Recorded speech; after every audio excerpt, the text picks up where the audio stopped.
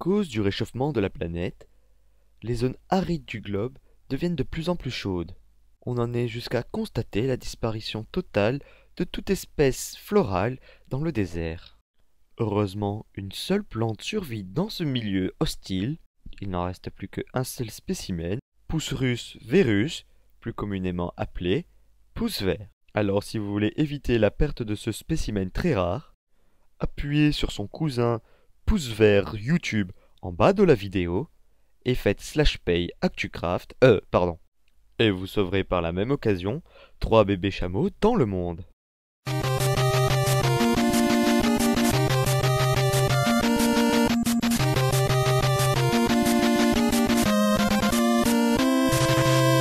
Creeper, creeper! You motherfucker! Oh yeah!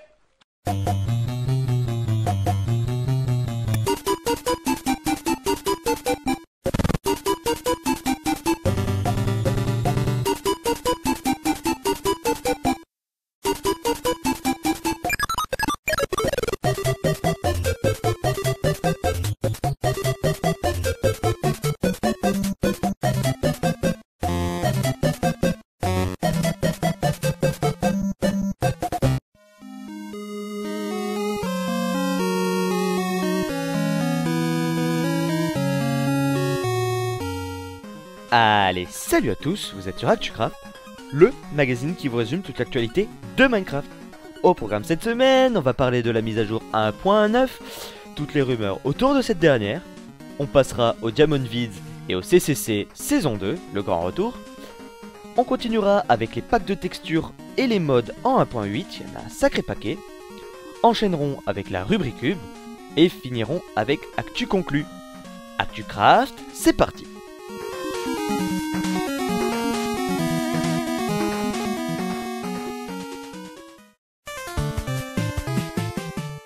peut considérer cela comme un rituel de la part de Mojang. À chaque fois qu'une mise à jour sort, la prochaine est déjà révélée avec des screenshots et des teasers. La 1.9 ne passera pas sous cette tradition, car en effet, elle est déjà teasée avec quelques images et pas mal d'infos. On a déjà la confirmation, et heureusement pour tous les fans du Nether, que c'est bien Jeb qui s'occupe du développement du Nether. Et ce dernier n'a pas hésité à nous donner quelques screenshots bien sympathiques, à analyser avec un regard plutôt fin. On peut constater sur ces photos l'ajout de ponts dans le Nether, pont relativement massif mais pas dégueulasse architecturalement parlant, ainsi que l'ajout d'un nouveau bloc dans le Nether, la brique du Nether qui sera aussi rouge que le Netherite. Mais pas de confirmation sur l'ajout de donjons dans le Nether, malgré le fait que beaucoup de rumeurs disent que ce seraient des ruines qui seraient présentes dans le Nether, ce qui laisserait à présager de nouveaux bâtiments dans ce dernier. Et ça, c'est très très bien. On continue ce petit tour de la 1.9 avec ce qui ressemble très fortement à un biome champignon. En effet, on peut constater des champignons géants à l'état naturel sur la gauche de cette photo, mais aussi, si vous avez un peu l'œil fin, je vais faire un zoom là-dessus, deux petites particules qui se baladent dans l'air. Alors est-ce que ça a un rapport avec la nouvelle texture de la dirt, qui, pour ma part, ressemble très fortement au crypt des ergs dans StarCraft 2 Ou est-ce alors à cause de ce nouveau mob en plein milieu de la photo? J'ai nommé la Mouchroom.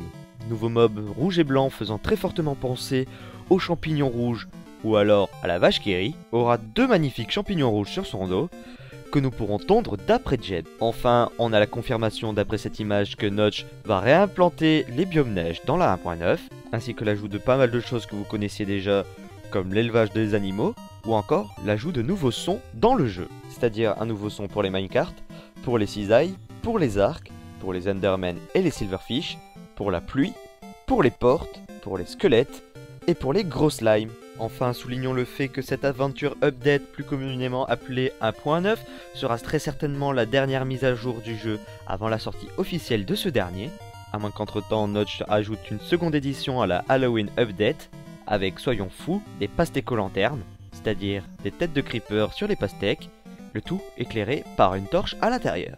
News de dernière minute spécial ActuCraft, il semblerait, d'après une source de Wikicraft, que un nouveau mob soit implanté. Ce nouveau mob serait le bonhomme de neige que l'on pourrait crafter avec des bâtons, du charbon et des boules de neige. Il attaquerait les mobs hostiles, fondrait dans les biomes chauds et laisserait une petite tradée quand il se déplacera. Il sera bien sûr amical envers vous, mais sera hostile à tous les autres mobs, ce qui lui donne une nature un peu suicidaire. Notons que c'est le premier mob que l'on pourra créer de ses propres mains, après l'œuf de la poule. Ce nouveau mob donnera donc une toute nouvelle dimension au jeu dans les biomes neige, qui était quand même un peu vide, il faut l'avouer. Maintenant, il faudrait que Notch s'attaque aux biomes océans, qui sont bien trop vides à mon goût. Le Diamond Vids de cette semaine était particulièrement exceptionnel, avec beaucoup de vidéos de très bonne qualité, entre autres de la redstone, des jeux en tout genre, des films d'horreur, etc. L'une des deux vidéos que j'ai particulièrement aimé est Duck Hunt, tiré d'un jeu NES, qui me faisait particulièrement bien triper quand j'étais petit. C'est une version Minecraft très bien faite. Le principe du jeu NES était très simple à l'époque, vous deviez tirer sur des canards, et si vous en loupiez un, un chien vous rigolait au nez avec une petite musique qui vous agaçait au fil du temps. Avec la version Minecraft, quelques petits trucs ont changé. Tout d'abord, ce ne sont plus des canards qui passent, mais des minecarts. Et ce n'est plus un fusil avec lequel vous tirez, mais bel et bien un arc. Et si vous loupez les minecarts avec votre arc, le chien vous rigolera au nez avec une petite musique de boîte à musique qui vous agacera de plus en plus dans le but de exploser votre ordinateur à coups de poing.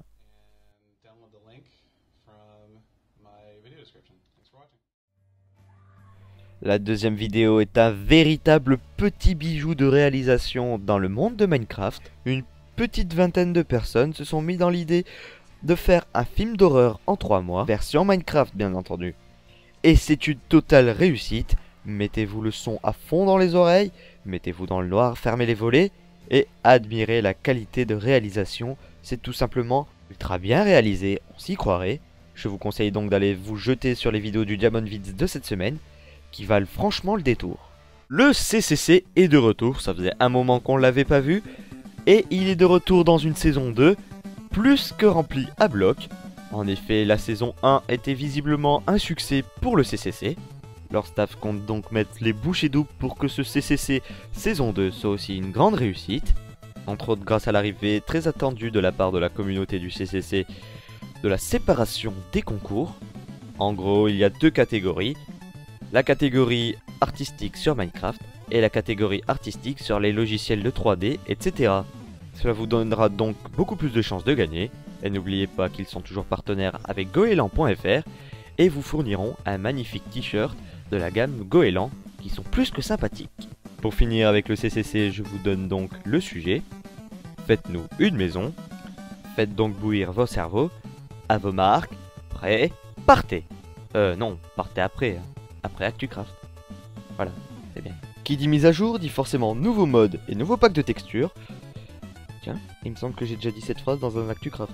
Bon, passons. Intéressons-nous alors au mode Matmos, qui est un mode plus que sympathique, qui vous permet de changer les sons du jeu, c'est-à-dire que les sons d'ambiance vont être ajoutés dans le jeu. Quand vous serez au bord de la mer, vous entendrez l'eau aller sur le rivage, quand vous serez dans la montagne, vous entendrez un vent frais et glacial qui vous glacera le sang. Quand vous serez dans la forêt, vous entendrez des petits oiseaux. Quand vous serez dans un endroit confiné ou dans une caverne, le son extérieur sera étouffé. Ce mode qui contient donc pas mal de sons d'ambiance est un très bon mode pour tous ceux qui veulent un peu plus d'immersion dans Minecraft. Le LG Craft est un pack de textures très agréable, très sympa à jouer. Il est vraiment beau et simple. Le Cap Pack est un pack de textures dans le style médiéval, très sobre, très sympathique, je l'aime beaucoup. Le style Feather Enchanted Pack est un magnifique pack de textures mélangeant divers horizons qui donne un rendu absolument magnifique, je vous le conseille vivement.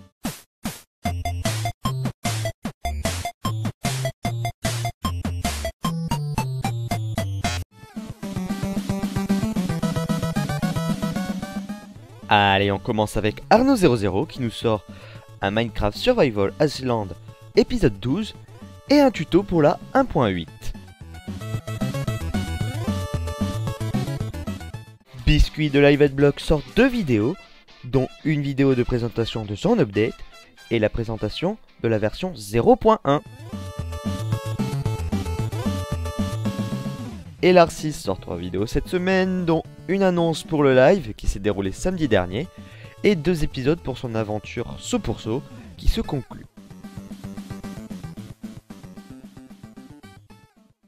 I Play For You 31 sort 8 vidéos cette semaine, dont 2 parcours infernaux, un qui veut gagner du hardcore, un concours et 4 épisodes de M2H.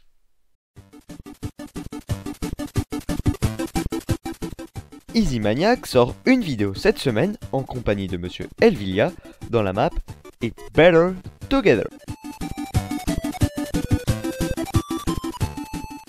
Mes grands amis du podcast A2PO qui m'ont d'ailleurs accueilli dans leur team la semaine dernière sortent deux vidéos cette semaine, dont le podcast 15, dont vous avez pu voir la réalisation sur le livestream du podcast A2PO.com, et un bonus Street Fighter avec Bob Lid.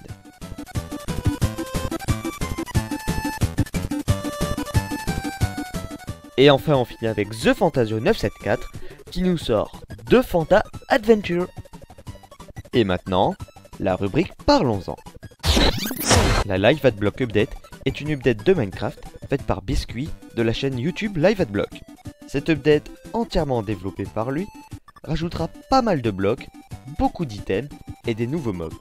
Bien plus qu'un mode, cette update de Minecraft nous redonnera envie d'aller miner à la recherche de tous les minerais disponibles dans le jeu.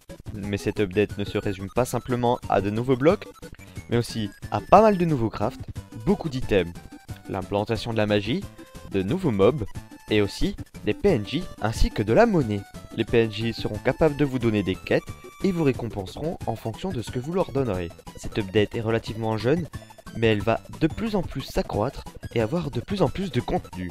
Elle rajoute aussi des choses bien sympathiques, comme l'ajout du jeu en français et une compatibilité avec tout mini-item.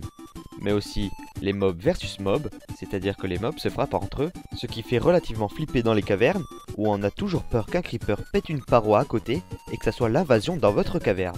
Je vous conseille pour la deuxième fois dans ActuCraft d'aller voir la chaîne de biscuits de Live Block, qui sera disponible dans la description de la vidéo bien entendu. Ou, si vous voulez avoir un aperçu du gameplay, d'aller voir ma chaîne où je fais une aventure suivie qui se nomme l'incroyable Monsieur Jones. Bref, cette update de Minecraft qui est très populaire parmi les gens qui l'ont testé est disponible sur planetminecraft.com où vous pouvez la télécharger. Bien plus qu'une évolution, une révolution. Et maintenant, le pixel art de la semaine.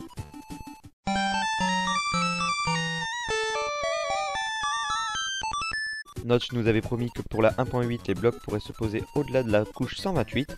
C'est faux, les pixel art de Vandalair prennent donc du retard, mais ne vous inquiétez pas, il les fera. A la place, il m'a envoyé un de ses anciens pixel art, fait sous la 1.7. Bref, si vous avez aimé ce pixel art, mettez dans les commentaires une commande que vous aimeriez voir exaucée. Vandalert, dès qu'il aura réglé ce petit problème, se chargera de le faire. Voilà, cet ActuCraft 15 touche à sa fin. Euh, je tenais à vous remercier pour euh, le maximum de pouces verts que j'ai eu dans ActuCraft 14. Je crois qu'on a atteint les plus de 350. C'est absolument énorme pour moi. Je vous en remercie. Euh, pas mal de monde qui n'aura pas de cancer du pouce. J'espère que vous sauverez pouce russe Vérus. Hein. je suis de tout cœur avec vous pour que vous sauviez ce dernier spécimen hein, et que vous sauviez par la même occasion trois bébés chameaux.